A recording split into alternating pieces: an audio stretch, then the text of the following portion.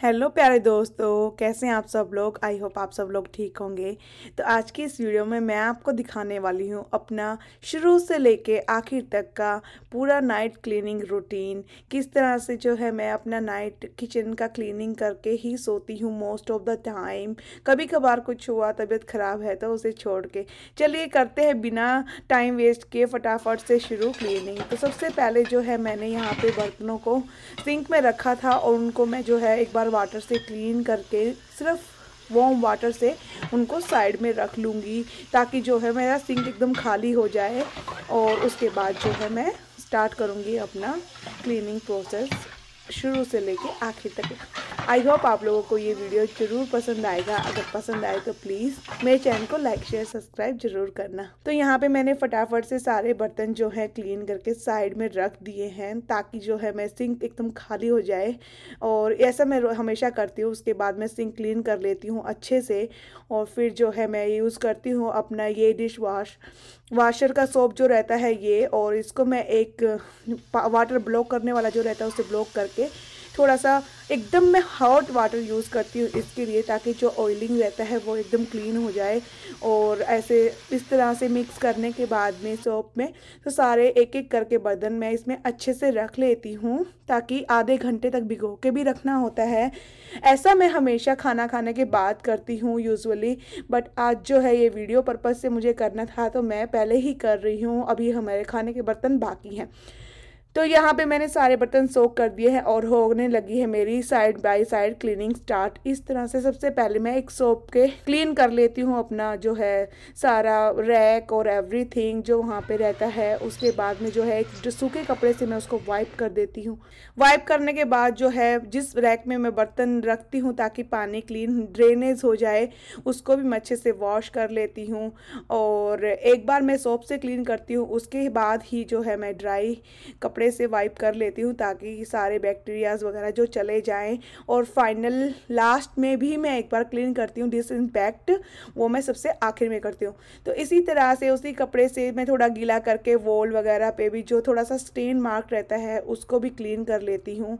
और अच्छे से इस तरह से सब जो है क्लीनिंग हो जाती है। और इस सारे प्रोसेस में जो है मैं वॉम वाटर यूज़ करती हूँ। अब यहाँ पे जो है खाना, जैसे कि मैंने आपको बताया आज डिनर नहीं हुआ है तो खाना मैं निकाल के साइड में रख देती हूँ ताकि मनोज जब आएँगे तो हम डिनर कर लेंगे और वो थोड़े से बर्तन होंगे, वो फटाफट से साइड बाई साइड क्लीन हो ही जाएँगे। तो खाना मैं निकाल देती हूँ तो सारे जितने बड़े बर्तन भी जो हैं, वो भी साफ़ हो जाएँगे। और इसी तरह से मैंने बेबी का भी फ़ूड निकाल के रख दिया है, जो भी मैंने बनाया था, क्योंकि आज जो है मुझे गैस, चूल्हा माइक्रोवेव सब कुछ एकदम डीप क्लीन करना है। वैसे मैं यूजली कर ही लेती हूँ, लेकिन कल मेरी तबीयत थोड़ी ठीक नहीं थी, मैंने नहीं किया था तो आज कर रही हूँ। तो ये देखिए, मैंने इसे भी रिंस कर लिया है। आप करते हैं सारे बर्तन जो है डिश वाशर में लगाऊँगी मैं। अब इनको ऑलमोस्ट आधा घंटा हो चुका है भिगोए हुए तो मैं इनको डिश वॉशर में लगा देती हूँ। ऐसे ही मैं इनको स्क्रब करने की ज़रूरत नहीं है, क्योंकि ऑलरेडी मैंने इनको आधा घंटा सोक कर दिया था। और उससे पहले मैंने वाटर में जो है अच्छे से रिंस कर लिया था तो आपको ज़्यादा स्क्रब करने की ज़रूरत नहीं है। इसी तरह से मैं सारे बर्तन लगा दूँगी एक एक करके और अब जो है, नीचे का सेक्शन स्टार्ट होता है। तो मैं उसमें एक, जिस तरह भी एडजस्ट कर सकते हैं आप लोग, उस तरह से मैं एडजस्ट करूँगी। और ये सब करने के बाद भी बड़े बर्तन बाकी रह जाते हैं। उसी पानी में जो है मैं गैस के सारे ये सब सोख कर देती हूँ। जितने भी बर्तन यूटेंशिल्स हैं मेरे, ये सारे ये जो अंडर प्लेट्स और चूल्हे के जो भी रहते हैं, उनको भी मैंने डिश वाशर में लगा दिया। अब डिश वाशर के मैं ये सोप यूज़ कर करती हूँ। ये डाल के मैंने टाइमर सेट हो चुका है और डिशवाशर ऑलरेडी क्लीन होना स्टार्ट हो गया है। बचे हैं अभी जो बड़े बर्तन जो कि मुझे हाथ से ही करने पड़ते हैं। तो अब जो है मैं इनको भी हाथ से कर लूँगी क्लीन और गैस को उससे पहले मैं जो है एक बार ड्राई वाइप करने के बाद में अच्छे से सोप से स्क्रब कर लेती हूँ। चूल्हा मेरा इतना ख़राब नहीं था। ये इसका जल चुका है पेंट इसीलिए ऐसे दिखाई देता है ब्लैक जब मैं यहाँ पे आई थी, आप लोगों ने मेरी जो है प्रेगनेंसी स्टोरी में देखा होगा, ये उस टाइम पे एकदम से नया घर था और पेंट जो है चूल्हे पे एकदम नया था, जैसे ही मैंने गैस ऑन किया, वो सारा पेंट जल गया, उसी दिन से ये ब्लैक दिखता है।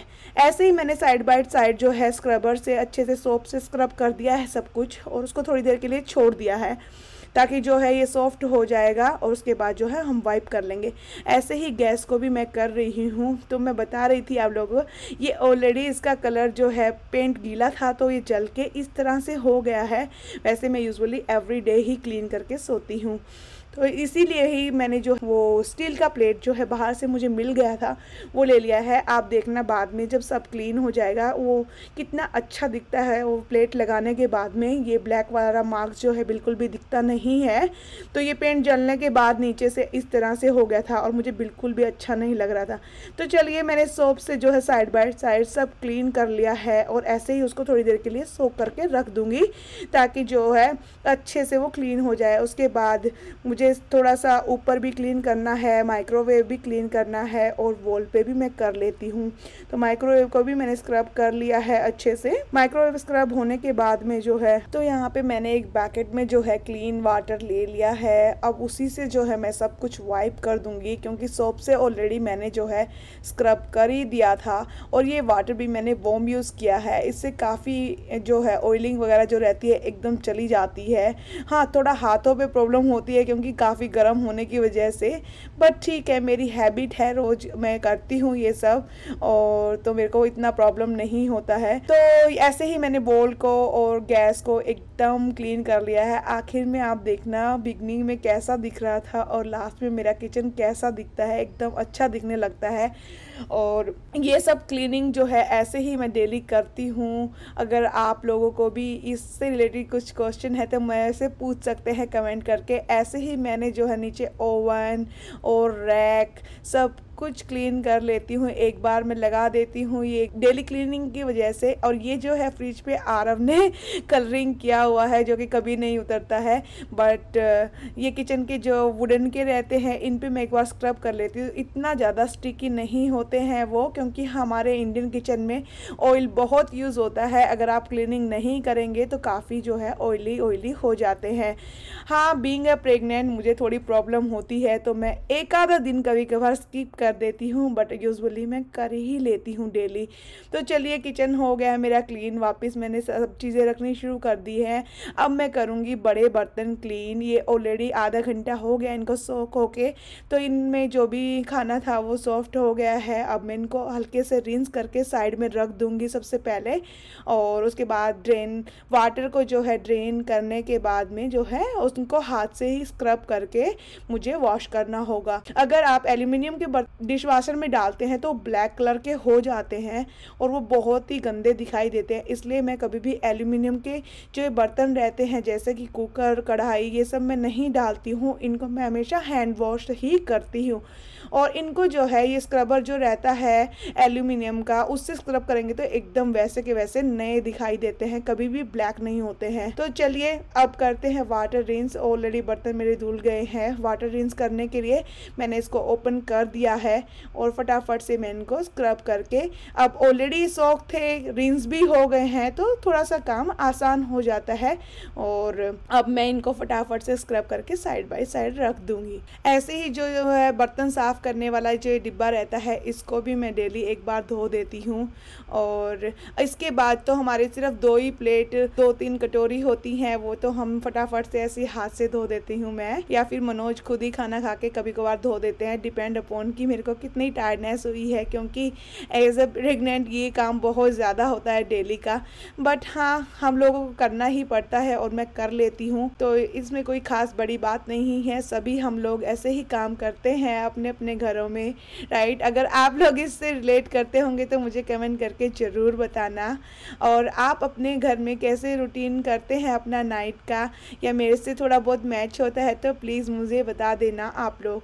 या मैं कुछ और चेंजेस कर सकती हूँ, लगता है आप लोगों को कि मुझे कुछ अलग तरीके से करना चाहिए तो वो भी मुझसे शेयर ज़रूर करना। तो यहाँ पे जो है सारे बर्तन मेरे वॉश हो चुके हैं ऑलमोस्ट अब मैं इनको थोड़ी देर रिंस होने के लिए रख दूँगी, ताकि उसके बाद जो है पानी अच्छे से निकल जाए, उनमें पानी ना रहे।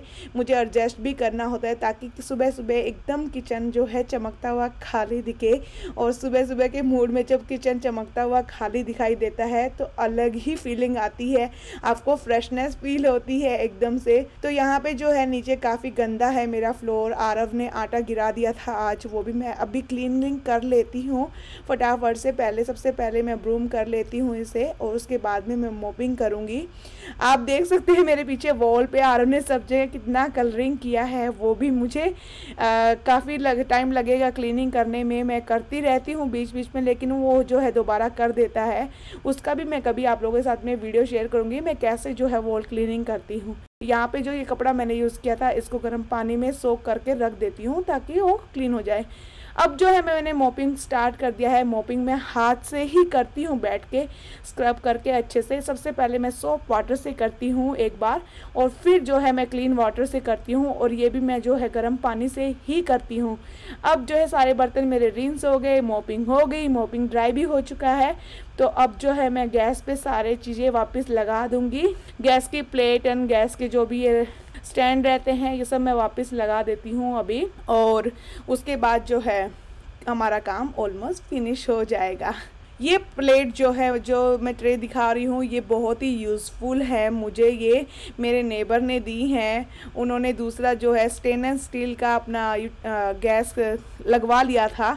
तो मुझे उन्होंने ये दिया। पहले उनके पास भी यही वाला था। उनके भी जो है गैस का पेंट बर्न हो जा रहा था ब्लैक दिखता था इसके लिए।